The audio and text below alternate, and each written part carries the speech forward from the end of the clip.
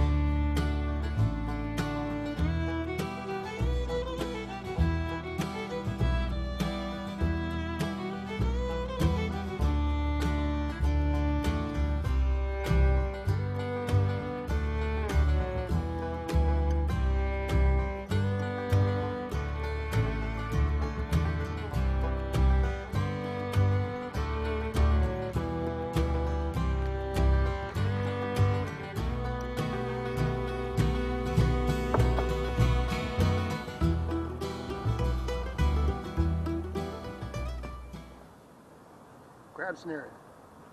I've never crab snared before, so I thought, hey, might as well go out to the South Jetty and uh, give it a try, see what's out there. Brought three poles. Yeah, brought my regular fishing pole and uh, two junkers I had in the garage. Two for crab snare, one for fishing if we get it. We go. Hey, we're out here early. Oh my God. Everybody's heading back. Yeah. The waves are small, huh? Well, no, they're pretty good size, but the tide's kind of killing it. Oh yeah, it's coming in high. It's high Yeah, tide. Really high. Yeah, good fishing. You too. High tide taking away all that sand makes those little cliffs there. They're always fun to get on top and kind of break off a little chunk, chunk and watch it plop. Okay, out here uh, on the harbor, heading towards the South Jetty. It's going to be a wonderful day. I'm going to try some crab snaring. In fact, I, I was out trying to get crab snares and I couldn't find any, so I had to make my own, which wasn't that hard. Uh, I'll, I'll show you some of the ones I made once we get going. It'd be nice to get some rock crab. You know, Dungeness would be cool, but I think I'm just going to try to pull the, the claws off any rock, rock crabs I get. So if I catch any, just wanted to take one claw off to see if I like them. So I could go on a boat wreck. Some pretty big swells going by, so. The uh, prediction was for can 20 foot swells last week, and so um, maybe this thing got beat around in them. That's what it looks like. Got away from the harbor and drug out here. Pretty amazing, really. Oh, look at that. That's two two six cylinders or two four cylinders. Somebody's got to come in and haul this baby out. Yeah, the, the engine looked virtually brand Wow. new, or the two engines did. I think that was a very new a new boat. That's a homemade crab snare. I, I went to buy some and I couldn't get it. I went to two stores, so I just went and uh, had I had my hardware cloth in the house anyway. So we're gonna try these, fill it up, and then I, I made a couple of them. Then I thought, well, damn, why'd it have to be so fancy? So I made a real quick one. I just bent the hardware cloth right in half, and put a weight on it, and a clip on there to hold it shut, and uh, we'll shove the uh, bait right inside there and see how that works. Made the loops out of 30 pound test with loop knots and tied them on. Okay, got my cabezon tail, some skin. Attached the lid just by uh, using the hardware cloth's own wire. You just bend it around and make a little hinge. These things are pretty easy to make, really. Okay, then I got my old clunky rod. There, clip to a clip. it's okay. Filled that one up with some leftover pork Working out. tenderloin. Oh no! Who knew that was busted? One of the top sections just slid out, so I clipped it to the one below it. A quick repair.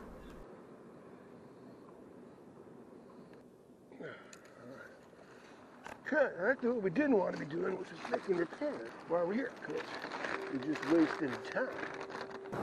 Cut this not a first cut. I put one trap on the ocean side, one trap on the harbor side, and we'll see uh, which side catches any crab, if any.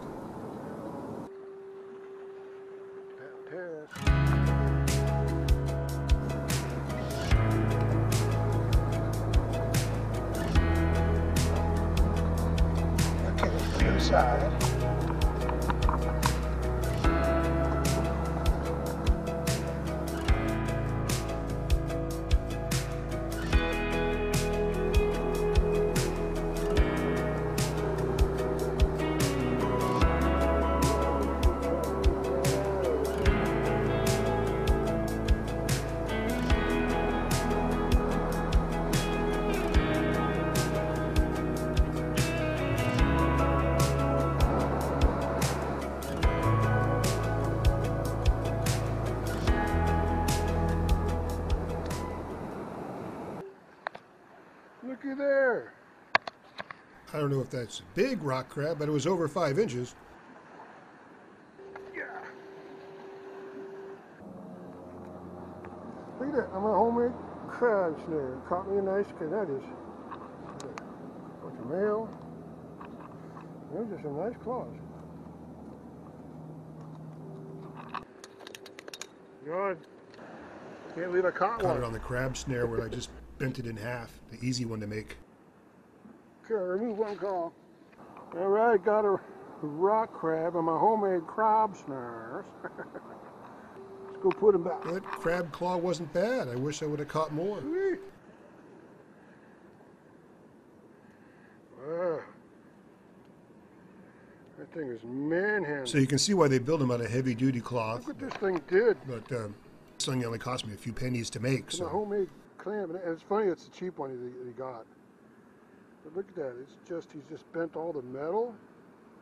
He was working hard. taking man. a quick snack here while the uh, crab snares are soaking.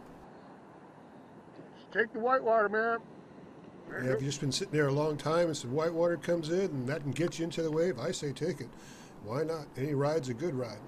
Well, I'm starting uh, a little itching for some fishing, so I'm going to uh, pull in the crab snares and uh, head on down the jetty to the fishing area.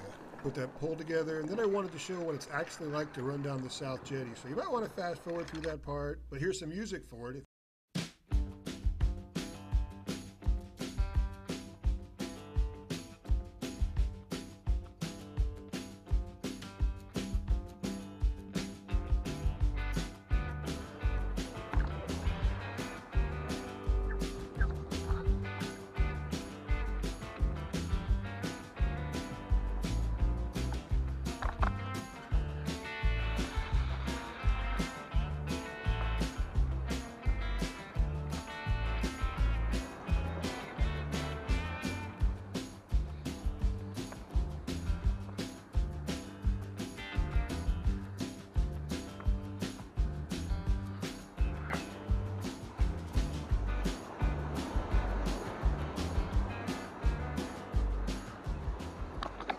Big Swells did a pretty good job of washing uh, washing everything off. It doesn't smell so bad out here on the big chunkies.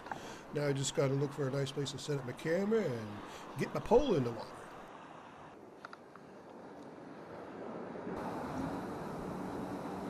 I'm lucky the rocks are relatively dry today, It- especially on the ocean side here. When they get any water at all, they become extremely slippery. I mean, you can find yourself crawling on the rocks. It's amazing how slippery they are.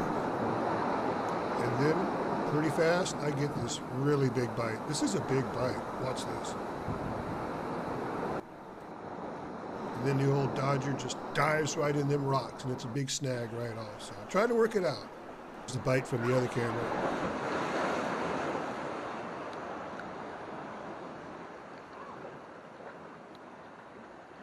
All you can really do is hope he's hooked really well, you know, and release your bail and work your way down the rocks really well, and once again try to get a, a good angle on him and give him a good tug on that first uh, attempt when you try. And hopefully, there'll be a fish there.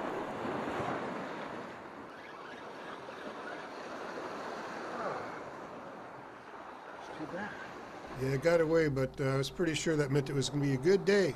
So we fished for a while. Birds went out, birds came in. And I figured I'd better uh, change my bait. And you can see right there, you got that white nasty bait. So we replaced it with some uh, stuff of good color. And like I said, I, have been getting a lot bigger fish, I think, since I uh, went to this arrangement right here with the two hooks tied to uh, my uh, two-inch loop there. It just gives a nice presentation.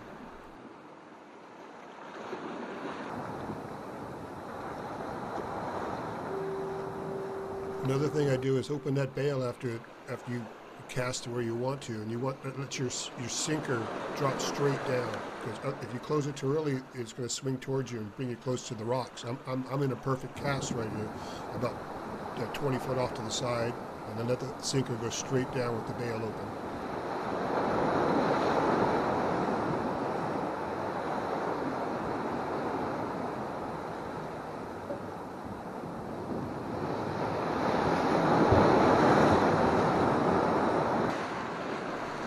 Watch this fish battle. This, this, it took me a while to reel this fish in. It was a fun little fight.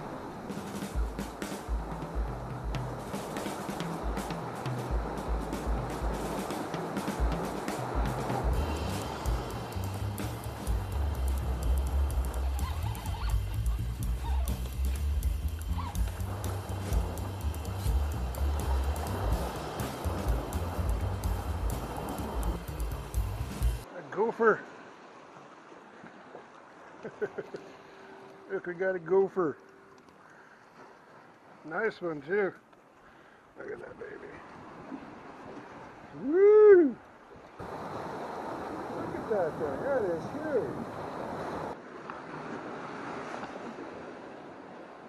huge. Old gopher rockfish here. I can get you. That's actually a grass rockfish. I just have a penchant for randomly throwing out species names. You just went right there.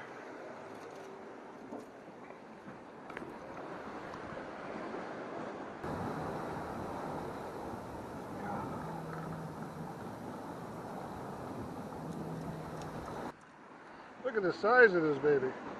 I mean, juice. Easily over 12 inches, probably closer to 14.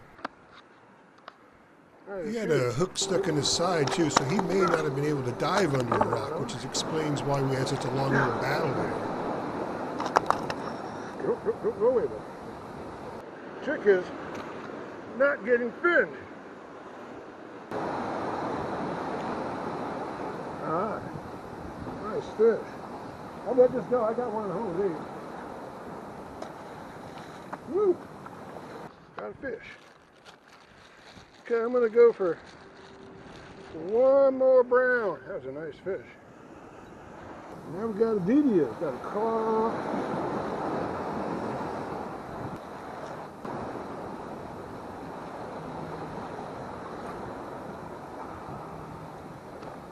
You just never know what's going to happen while you're out there on the old South Jetty. These guys brought their uh, outrigger kayaks, must be 14 foot long out here too. That'll hurt there, dude. Catch a wave.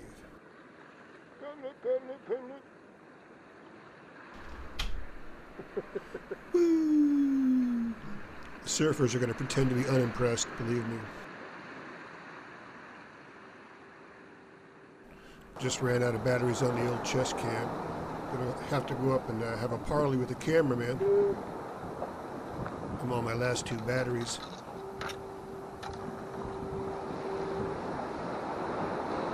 Are you still filming? I just remembered that I, I just changed the battery a few minutes ago, so it'll last about an hour actually.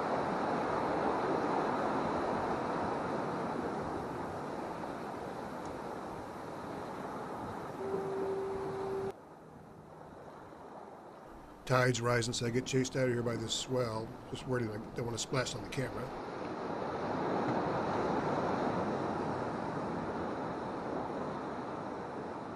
And then I start getting bites up there almost immediately, which you kind of just barely be able to see. There you go.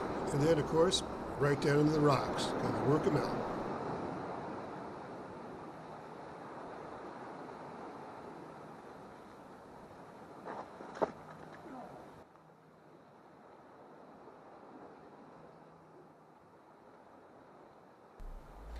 Come out of the frame for over a minute before I come back in and reel this thing in.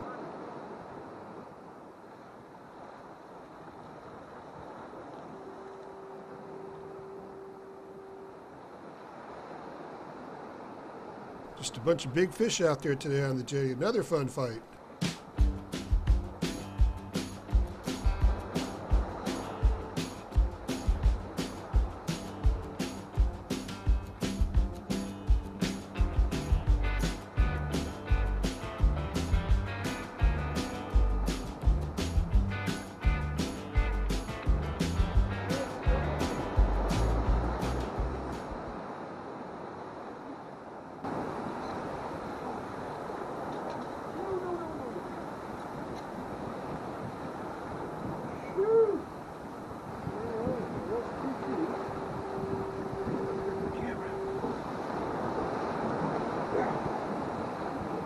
We were still filming.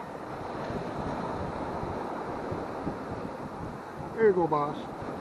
Very nice. That's two fish.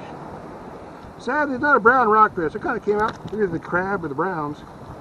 So, we're going to pull this guy off. I thought this was a grass rockfish when I I caught it, but I'm thinking, is that is that a blue rockfish? If it was, I'm sorry I threw it out. You want that I've never had one.